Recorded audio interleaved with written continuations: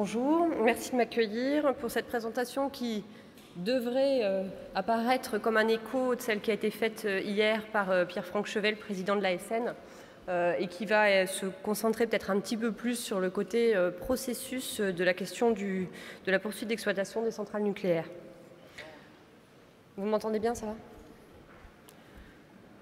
Donc pour, pour mémoire, les textes qui encadrent le fonctionnement des centrales nucléaires en France ne fixent pas de limitation dans le temps à leur autorisation d'exploitation. Euh, cette autorisation est encadrée par euh, le Code de l'environnement, qui prévoit que la création des INB soit soumise à une autorisation qui est délivrée par décret. Et les décrets d'autorisation de création des centrales nucléaires actuelles euh, ne fixent pas de durée réglementaire d'exploitation. Par contre, la réglementation, la loi en fait, impose à l'exploitant un réexamen de sûreté tous les 10 ans. Euh, qui vient en plus du contrôle continu qui est exercé sur les installations et qui euh, prévoit que l'ASN puisse suspendre, si c'est nécessaire, en cas de risque grave et imminent, le fonctionnement des installations. Mais donc l'objectif du réexamen de sûreté, il est complémentaire de ce contrôle continu et repose sur euh, deux piliers. D'une part, celui à droite de l'examen de conformité, il s'agit d'apprécier la situation de l'installation au regard des règles qui lui sont applicables, donc de vérifier que l'installation est toujours conforme à, euh, ce qu'on attend d'elle et aux règles qui lui sont applicables. également, le réexamen de sûreté euh, comprend une, partie de réévaluation qui est une sorte de mise aux normes en quelque sorte. il s'agit d'actualiser les exigences de sûreté, l'appréciation des risques que présente l'installation et euh, de faire les modifications qui seraient nécessaires et utiles pour améliorer la sûreté. Ce processus, et on le verra après, un processus relativement long qui se fait beaucoup euh, par des études euh, en amont, des visites décennales elles-mêmes, qui interviennent tous les dix ans comme leur nom l'indique, et qui sont l'occasion, à l'issue de cette phase d'études, de réaliser des études, des épreuves, des examens qui euh, contribuent au pilier de droite de l'examen de conformité et également d'intégrer les modifications qui n'auraient pas été de manière anticipée, euh, qui, permettent euh, d'améliorer la sûreté de l'installation et également sont l'occasion de, procéder à des mises à jour documentaires selon la loi euh, actuelle, donc euh, applicable depuis 2006, euh, et les procédures du décret d'application de, cette loi sur la transparence et la sécurité en matière nucléaire, le réexamen se clôt par un rapport de, réexamen qui est fait par l'exploitant, transmis au ministre chargé de la sûreté nucléaire et à l'autorité de sûreté nucléaire pour examen. Et c'est donc ce rapport de réexamen qui clôt le processus de réexamen. Il est examiné par l'ASN euh, qui transmet ensuite ses analyses, ses conclusions euh, au ministre. Nous les publions également et qui peut, à cette occasion, si elle l'estime nécessaire, euh, prendre des prescriptions pour encadrer de manière différente ou améliorer le fonctionnement des installations.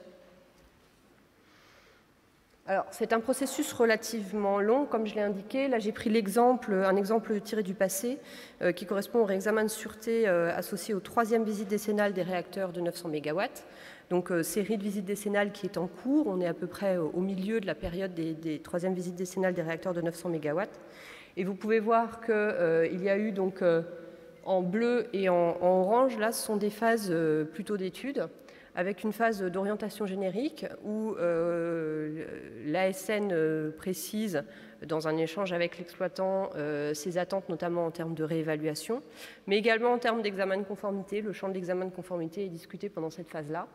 Et il y a ensuite une phase relativement longue qui dure plusieurs années d'études de réexamen alors en France, étant donné euh, la, situation du parc des centrales nucléaires avec euh, des centrales qui sont assez similaires, euh, on a l'habitude de procéder par, une phase générique qui couvre un palier de réacteurs avant d'entrer dans la phase individuelle réacteur par réacteur. Donc une phase d'étude générique de réexamen euh, qui dure plusieurs années, au cours de laquelle EDF, euh, e pour les centrales nucléaires, réalise les études nécessaires, conçoit les modifications, et au cours de laquelle euh, l'ASN, avec l'appui de l'IRSN, évalue ces, études et ces, modifications par rapport aux, exigences qui ont été fixées et aux orientations du réexamen. Ce sont ensuite les visites décennales qui se succèdent euh, réacteur après réacteur, au cours desquelles euh, l'ASN euh, ben, contrôle pendant la, visite décennale que les, différents contrôles sont faits conformément à ce qui est prévu et que les modifications sont intégrées conformément à ce qui est prévu. Le rapport de réexamen doit être remis par l'exploitant six mois après la fin de la visite décennale et l'ASN ben, prend position après, réacteur par réacteur. Et la position euh, qui est prévue par la loi, c'est euh, bien entendu la position réacteur par réacteur. C'est-à-dire que le réexamen, il est fait euh, centrale par centrale, même si dans le, cadre du parc, dans le cas du parc français, il y, a une grosse phase générique. Donc toujours pour les, troisièmes visites décennales, c'est en juillet 2009, donc à la veille à peu près des, premières visites décennales, que l'ASN avait pris une position générique euh, indiquant qu'à l'issue des études, elle ne voyait pas d'objection ou de difficultés particulières. Et euh, ensuite, euh, on a consolidé cette appréciation réacteur par réacteur et on est en train de le faire puisque les, visites décennales sont en cours. C'est le même type de processus qui va avoir lieu pour les quatrièmes visites décennales des réacteurs, avec les particularités sur lesquelles on va revenir. Ce qu'il faut également avoir en tête, euh, c'est que le, parc de centrale, non seulement il est très standardisé, mais a en plus été construit euh, dans un délai très court. Ce qui fait qu'on euh, a là dans la bande en, gris une quantité très importante de réacteurs qui vont passer leur quatrième visite décennale dans, une, dans un délai de, de, 10 à 11 ans. Donc on parle d'une problématique qui est potentiellement très concentrée dans le temps et qui est juste, juste devant nous. Alors, je, vais redire euh, sans doute ce qui a été dit hier. Quand on parle de, la prolongation après 40 ans, il faut bien garder en tête que ce chiffre de 40 ans, c'est un arrondi. C'est-à-dire que d'une part, les visites décennales, pour différentes raisons euh, techniques et réglementaires, elles ne sont pas calées pile à la date anniversaire, elles peuvent varier euh, de quelques mois, voire quelques années par rapport à la date anniversaire ronde et d'autre part que bien entendu les problématiques de vieillissement euh, comme les problématiques de réévaluation ne sont pas des problématiques euh, au jour le jour, c'est-à-dire qu'on n'est pas sur des sujets qui euh, changeraient fondamentalement de, figure ou d'appréciation du jour au lendemain. En revanche, il y a cette échéance, enfin ce, cadencement des réexamens tous les 10 ans, et donc qu'on est tenu de, respecter. Mais voilà, il, peut y avoir parfois des questions sur la situation par rapport à l'âge réel des réacteurs. Par rapport, aux problématiques de réexamen, en tout cas, euh, ce ne sont pas des questions qui sont, toujours prêtes.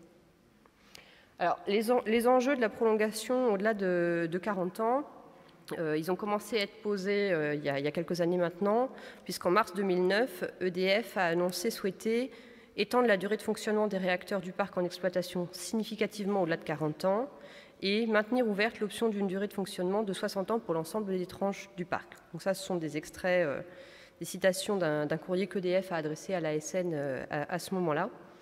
Euh, et la problématique se présente de la manière suivante. D'une part, les réacteurs actuellement en fonctionnement ont été conçus avec l'hypothèse d'une durée de fonctionnement de 40 ans. Et quand on dit ils ont été conçus avec cette hypothèse-là, c'est-à-dire qu'il y a un certain nombre de matériels qui ont été dimensionnés avec cette hypothèse-là et un certain nombre de vérifications techniques, mécaniques, qui ont été faites sur la base de cette durée-là. Euh, elles ont été un petit peu actualisées depuis, euh, elles sont d'ailleurs pas tout à fait calées sur 40 ans, mais sur, euh, sur un petit peu plus. Euh, mais pas beaucoup plus. Donc ce, sont, des études dont on ne dispose pas sur des durées supérieures. Par ailleurs, en 2007, il y a eu une autorisation de création en France d'un réacteur de, nouvelle génération, réacteur EPR à Flamanville, qui euh, répond à des objectifs de sûreté qui sont très renforcés par rapport aux réacteurs de la génération euh, précédente, la génération qui est actuellement en fonctionnement. Et enfin, troisième point, la recherche euh, a dégagé des pistes possibles d'amélioration des réacteurs actuels, en particulier pour la, réduction des, rejets en cas d'accident grave. Et donc la problématique du réexamen, telle qu'elle est fixée dans la loi, c'est-à-dire une appréciation des risques au regard des exigences actuelles et de l'état de l'art conduit à s'interroger sur la poursuite du fonctionnement des réacteurs au-delà de 40 ans, puis par rapport euh, aux, trois, points que, j'ai cités. Ça, ça conduit à euh, maintenir euh, les axes habituels du réexamen de sûreté, mais à les renforcer sur plusieurs points. D'abord, à rechercher une anticipation plus grande parce que, a priori, les défis sont plus grands, et d'autre part, à essayer de se donner une vision au-delà de 10 ans. C'est-à-dire que la réévaluation de sûreté, on va y revenir, qu'on va demander, va être importante et elle mérite de se faire avec une vision anticipée qui va au-delà de 10 ans et donc avec une ambition et des exigences qui vont être euh, plus fortes sur chacun des axes euh, du, réexamen. Donc dans le projet, alors DDF, c'est durée de fonctionnement, c'est le nom du projet de, chez EDF, et comme tous les dossiers s'appellent comme ça, on a tendance à l'appeler pareil chez nous. Euh, donc ça se retrouve sur ces, sur ces transparents. Alors sur l'axe de l'examen de conformité, donc là c'est un axe standard, on va dire, du réexamen. Simplement, on a demandé à EDF de prévoir un, réexamen de conformité, pardon, un examen de conformité très étendu euh, en termes de recherche euh, des écarts et également en termes de traitement en ligne euh, des écarts qui seraient trouvés dans cet examen de conformité.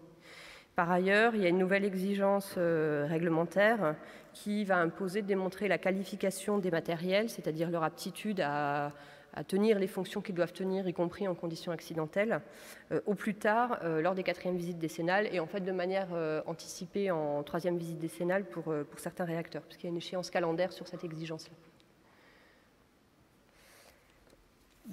Sur l'axe euh, du maintien en état de l'installation, qui fait partie de l'axe de conformité, mais qui est particulier et qui devient de plus en plus particulier au fur et à mesure que les réacteurs vieillissent, bien entendu, puisque les problématiques de vieillissement lors de la première visite décennale, elles sont d'ordre euh, assez limité, facilement anticipables.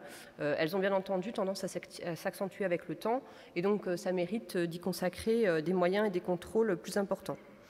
Euh, donc ce qui a été demandé à EDF, euh, c'était déjà le cas pour euh, la troisième visite décennale, mais c'est de manière encore plus forte pour la poursuite du fonctionnement des centrales, de justifier la maîtrise du vieillissement des composants considérés comme non remplaçables, par exemple l'enceinte et la cuve. Donc là, c'est essentiellement des études, quelques modifications lorsque c'est possible, mais c'est un point bien entendu critique, puisqu'à partir du moment où il est considéré que ces matériaux ne sont pas remplaçables, ils peuvent constituer un coup près en termes de durée de vie. Euh, on a également demandé à EDF d'anticiper euh, des remplacements massifs de composants, puisqu'il peut y avoir des problématiques de vieillissement anticipées ou non anticipées euh, qui conduisent à devoir remplacer en un temps limité, s'il y a des enjeux de sûreté, des composants qui développeraient des, dommages et des dégradations importants. Ça s'est produit dans l'histoire. Il y a eu par exemple le cas des couvercles de cuve. on peut penser également aux générateurs de vapeur ou à certains types de matériel moins en vue dans le domaine, dans le domaine euh, euh, informatique euh, de l'obsolescence de composants. Et donc, on a demandé à EDF d'étudier y compris par rapport aux capacités d'ingénierie et de filière industrielle, la capacité à remplacer massivement des composants si c'était nécessaire. on a également demandé d'étudier des, des, dispositions de limitation des sollicitations des équipements. Lorsqu'ils ont été conçus pour tenir à des sollicitations, les sollicitations prévues sur 40 ans, il convient évidemment de vérifier, ça c'est l'axe de gauche, euh, que les sollicitations qui ont, connu les équipements restent dans les purs qui étaient prévus au départ. Et puis dans l'hypothèse d'une durée de, vie allongée par rapport à ce qui était prévu, euh, il faut rechercher des, dispositions de limitation des sollicitations, que ce soit les sollicitations thermiques, mécaniques, euh, chimiques. On a également demandé à EDF d'étudier un suivi renforcé de certains matériels qui peuvent être éventuellement remplaçables, mais qui présentent des enjeux importants pour la sûreté, comme des câbles, des tuyauteries enterrées, euh, qui, sont, euh, difficiles à, qui sont difficiles à, contrôler. Euh, et puis, bien entendu, il y a un enjeu important de maintien des compétences et des connaissances, puisque ce délai de 30-40 ans, il correspond grosso modo au renouvellement d'une génération. Euh, et donc il y, a un enjeu important pour une poursuite du fonctionnement des centrales en toute sûreté euh, sur ce, maintien des compétences et des connaissances.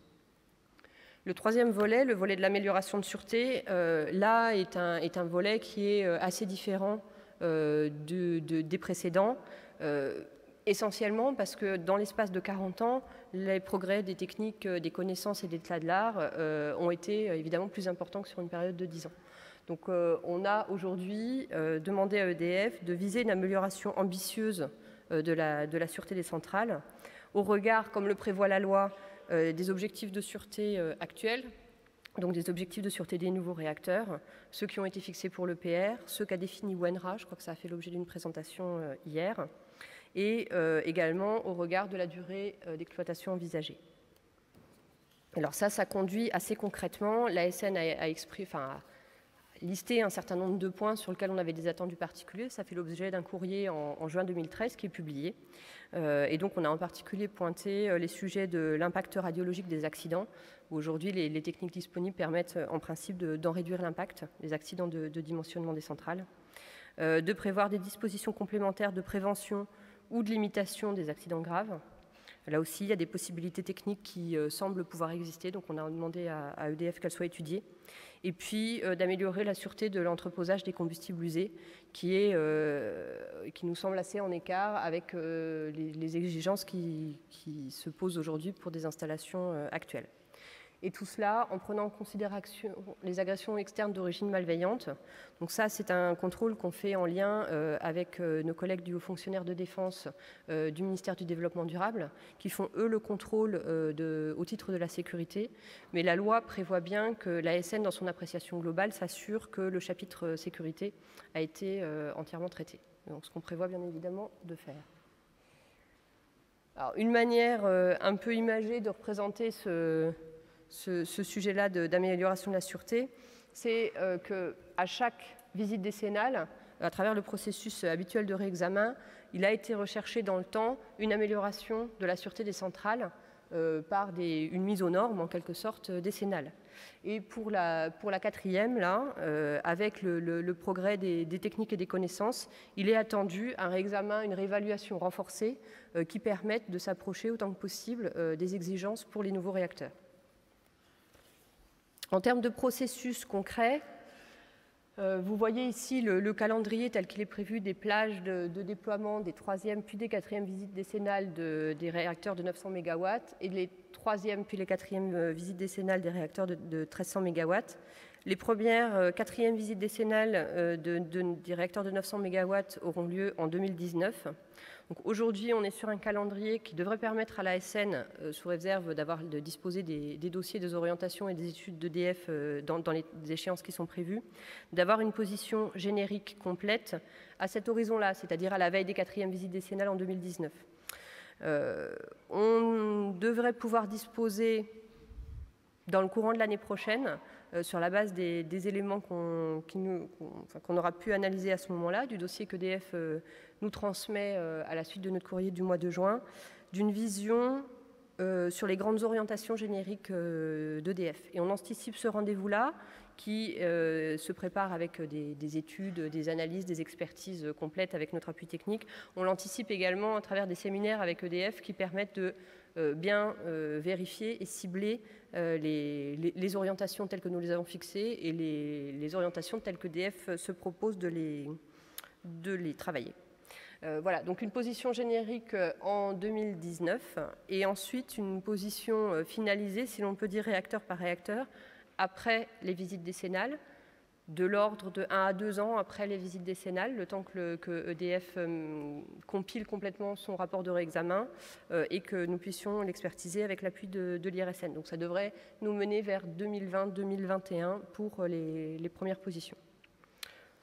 Donc voilà, en résumé, la problématique de la, poursuite d'exploitation et la durée de fonctionnement des réacteurs, euh, elle n'est pas très différente de la, manière dont elle se pose pour les réexamens décennaux tels qu'ils sont prévus par la loi, si ce n'est qu'aujourd'hui, euh, euh, avec le contexte des améliorations techniques et technologiques du progrès des connaissances, du retour d'expérience euh, et la disponibilité d'une technologie euh, de type EPR, euh, la problématique se pose en termes d'un réexamen avec une vérification de conformité, une maîtrise des problématiques de vieillissement qui doit être renforcée et avec des améliorations de sûreté ambitieuses en termes d'objectifs de sûreté à atteindre pour la sûreté des centrales nucléaires. Je vous remercie.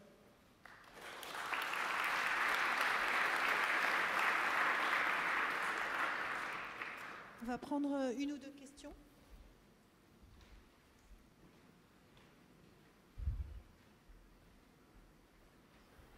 Thomas Branche, à Système. J'ai une question sur la cohérence de la date de 2018 ou 2019 avec l'enclenchement des VD4 derrière. Parce qu'entre le moment où la position de la SN sera connue et le moment où concrètement EDF sera en mesure de les implémenter sur les sites, il y aura un petit peu de temps d'études, de passation de marché. Et donc, euh, je, tu as, tu as évoqué des séminaires. Enfin, comment est-ce que vous, vous êtes confiant ou pas confiant sur la capacité à tenir compte de ce qu'il y aura dans la vie générique de 2019 pour concrètement l'implémenter? Alors, c'est une question qui pourrait également être posée à EDF, et je sais qu'EDF a des choses à dire sur la question. Euh, ça serait clairement beaucoup plus confortable euh, pour EDF et même pour nous de pouvoir anticiper euh, tout ça de manière encore plus importante. Ceci étant, ce processus-là, il nous conduit déjà à fixer les orientations du réexamen de sûreté quasiment dix ans avant, en fait, quand on sort du précédent. Et ensuite, le, gros, l'essentiel du travail d'étude, il est fait pendant un certain nombre d'années avant le réexamen lui-même. On n'attend pas, et EDF, enfin je veux dire, on est, en échange extrêmement régulier avec des jalons euh, très précis sur ce, sur ce parcours jusqu'à euh, 2018-2019. Euh, donc notre objectif, et en principe on devrait avoir les moyens de le faire, c'est de pouvoir identifier dès maintenant et l'année prochaine les gros sujets sur lesquels il y a potentiellement euh, des difficultés majeures. Ça ne veut pas dire que jusqu'au dernier moment, il ne peut pas surgir quelque chose de l'instruction, c'est vrai. Euh, ça peut être considéré comme une difficulté industrielle. Ceci étant, euh, les dossiers aujourd'hui, on ne les a pas. Euh, donc, en termes d'études et d'analyse chez nous et de part et d'autre, ça peut difficilement être fait de manière plus anticipée. On, a déjà eu l'occasion de, de, signaler à EDF qu'il ne fallait pas garder un rythme soutenu sur l'élaboration de ce dossier de, de réexamen et d'études génériques, parce qu'effectivement, on considère que c'est déjà un peu tard. D'où le fait qu'on ait des séminaires et d'où le fait qu'on ait le jalon de 2015 avec une position sur les orientations qui n'existait pas forcément sous cette forme euh, exacte dans les précédents réexamens pour se donner euh, plus de visibilité.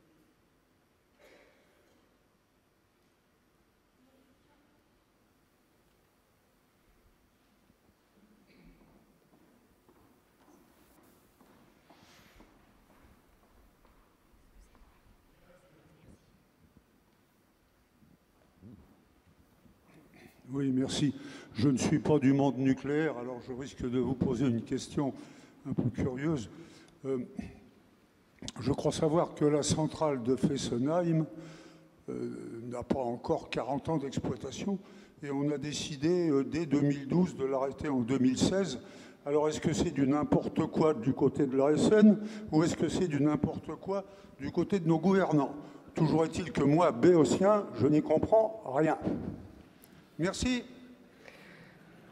Vous faites référence à une décision de politique énergétique vous faites référence à une décision de, politique énergétique euh, qui, est, euh, qui, est, portée comme telle euh, par le gouvernement et vous savez certainement qu'il est prévu de la traduire dans une loi sur la transition énergétique qui est annoncée pour la fin de l'année.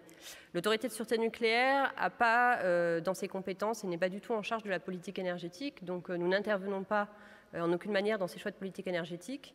Euh, la, chose qui est importante pour nous, par contre, c'est que la sûreté nucléaire s'impose. C'est-à-dire que euh, le, maintien de la sûreté nucléaire est évidemment euh, une condition sine qua non au maintien en fonctionnement des centrales. Au-delà de ça, l'autorité de sûreté nucléaire a eu l'occasion de prendre, euh, dans le courant de l'année 2013, euh, une position officielle, une position du collège de l'ASN sur les enjeux vis-à-vis -vis de la sûreté nucléaire, de la politique énergétique. Et principalement, les sujets que nous avons pointés, ce sont des sujets d'anticipation, euh, c'est-à-dire que le, vieillissement des centrales tel qu'il a été décrit là doit être absolument anticipé parce que comme vous l'avez vu, le gros paquet là qui était dans la pyramide des âges dans la bande grise, c'est un paquet énorme. Et donc si jamais il y a une difficulté sur ce paquet-là, ça va se présenter comme une difficulté euh, importante en termes de maintien en fonctionnement des centrales. Et donc ça, ça s'anticipe en termes de politique énergétique.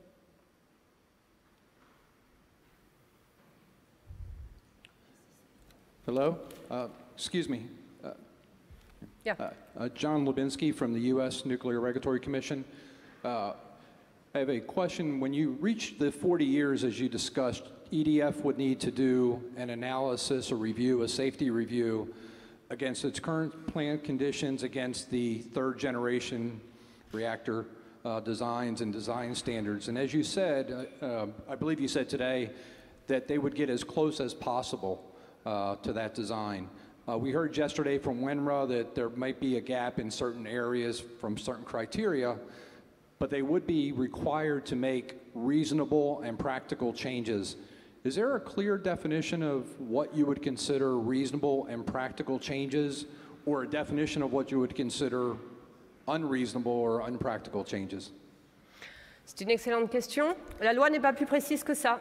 Euh, la loi n'est pas plus précise que ça. Elle dit que le réexamen de sûreté se fait euh, au regard euh, des, des exigences actuelles. Euh, donc c'est tout, l'enjeu de- des, échanges techniques euh, qui est de, fixer euh, les orientations du réexamen du côté de la SN de manière pertinente et du côté d'EDF de prendre les mesures pour y répondre ou de proposer des mesures alternatives pour répondre aux mêmes, exigences. Mais ce n'est pas quelque chose de carré qui s'écrit dans, un document ou dans, un, dans, dans une norme ou un code. C'est effectivement un principe d'amélioration de la sûreté euh, un principe général d'amélioration de la sûreté qui est inscrit dans la loi euh, et, il nous appartient dans la mise en œuvre et dans l'analyse d'en déterminer euh, les contours et les limites.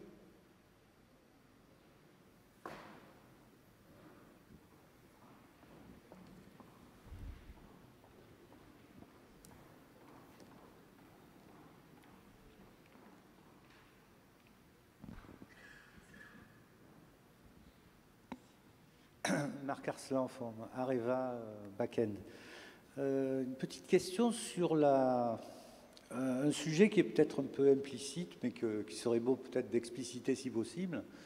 Euh, sur le fait que l'industriel souhaite, pour amortir ses investissements, etc., une durée de vie accrue de l'ordre de 20 ans. Et de notre côté, la démarche de sûreté, c'est une visite décennale tous les 10 ans, une remise à plat, etc. Donc euh, entre 10 ans d'un côté, 20 ans de l'autre, c'est difficile. Alors est-ce qu'on peut imaginer, par exemple, que si lors de la VD4, le programme proposé par l'exploitant est jugé suffisant par la SN, et s'il n'y a pas d'évolution ensuite sur le niveau de sûreté ou d'éléments nouveaux qui conduiraient à changer d'avis, eh bien, les 20 années d'augmentation de la durée de fonctionnement sont tout à fait euh, acceptables a priori par la SN, sauf éléments nouveaux, comme je le disais. Vous avez une manière différente d'exprimer le principe du réexamen, c'est-à-dire que de toute façon, le principe de réexamen décennal, il est fixé par la loi. Rien n'empêche, et c'est ce qui est prévu, j'ai parlé de, la nécessaire anticipation d'un certain nombre de problématiques, rien n'empêche EDF, et encore une fois c'est ce qui est prévu, de réviser par exemple ces analyses mécaniques, non pas à 50 ans mais à 60. Et bien entendu, quand on en fera euh, l'instruction et l'analyse, euh, on se prononcera sur ces études, euh, ce qui sera, si, on les valide, enfin si on n'a pas d'objection, par exemple, à ces études révisées, ce qui, quelque part, euh, en validera le contenu sur un principe de, euh, durée jusqu'à 60 ans. Par contre, le réexamen, le cas échéant, euh, le réexamen décennal suivant, il aura lieu. Mais là aussi, notre ambition, notre souhait, c'est de fixer des améliorations de sûreté qui sont cohérentes avec ben, l'évolution des exigences qui ont connu une évolution très importante sur la dernière décennie, hein, avec, avec l'EPR ou sur les 15 dernières années. Et comme vous l'indiquez, si l'évolution des connaissances euh, et des technologies n'est pas, euh, pas accélérée ou ne fait pas apparaître de faits fondamentalement nouveaux par la suite, ben, on intégrera pour les réexamens suivants euh, le delta qui sera potentiellement limité. Donc notre ambition, c'est bien de- de fixer les choses avec une visibilité sur 20 ans, puisque c'est ce qu'affiche EDF, sans préjuger du fait que ça sera possible ou pas. Mais rien n'empêche en tout cas de- d'examiner encore une fois des études mécaniques ou des modifications avec, euh, avec une perspective de, de 20 ans, comme à la création des centrales, on a examiné des justifications mécaniques sur 40 ans. Ok, donc je, je vous remercie. On va applaudir.